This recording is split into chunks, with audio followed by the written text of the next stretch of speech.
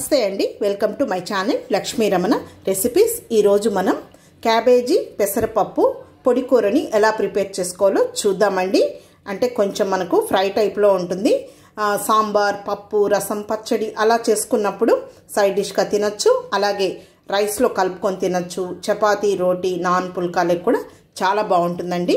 మనకు హెల్త్కి కూడా చాలా మంచిది. ఇందులో మనం పెసరపప్పు వేసి చేసాం కాబట్టి చాలా కమ్మకమ్మగా ఉంటుంది.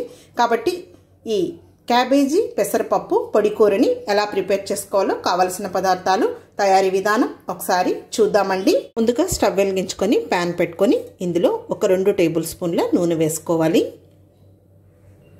ఇవి పోపు దినుసులండి. అర టీ స్పూన్ ఆవాలు అర టీ స్పూన్ మినపప్పు పావు టీ స్పూన్ జీలకర్ర వేసేసుకుందాము. పోపు దినుసులు వేగిపోయాయి. ఒక మీడియం సైజు ఉల్లిపాయని చిన్న ముక్కలుగా కట్ చేసి వేసుకోవాలి. రెండు పచ్చిమిరపకాయని కూడా చిన్న ముక్కలుగా కట్ చేసి వేయాలి. కొద్దిగా కరివేపాకు. ఈ ఉల్లిపాయ ముక్కల్ని ఒక్క నిమిషం ఫ్రై చేసుకోవాలి. ఉల్లిపాయ ముక్కలు లైట్గా వేగిన తర్వాత ఇందులో ఒక అర కేజీ క్యాబేజీ తరుగును వేసుకోవాలి. క్యాబేజీని ఇలా సన్నగా చాప్ చేసి వేసుకోవాలి. ఇందులో కొద్దిగా రాళ్ళుప్పును వేసుకోవాలి. పావు టీ స్పూన్ పసుపు పొడి వేయాలి. ఇప్పుడు ఒకసారి ఈ క్యాబేజీని అంతా కూడా ఇలా కలిపేసుకుందాము. ఇది పెసరపప్పు అండి.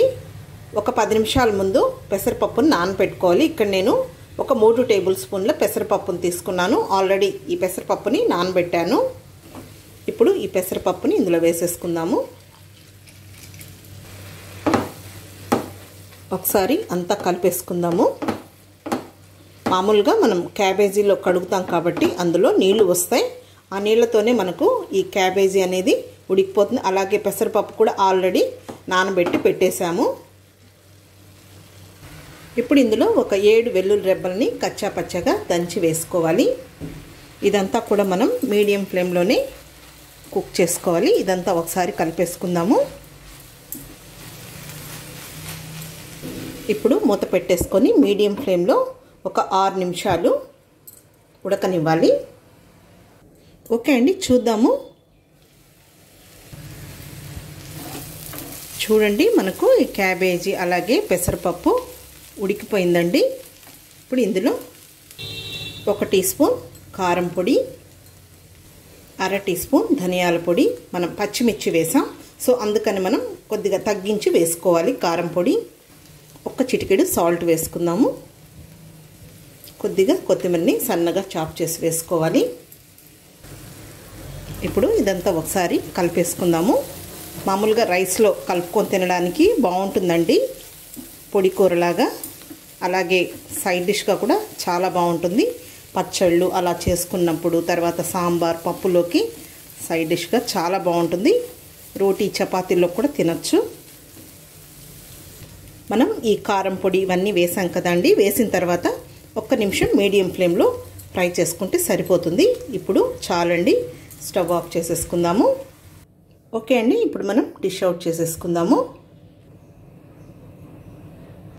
చివరగా కొంచెం కొత్తిమీర వేసుకుందాము.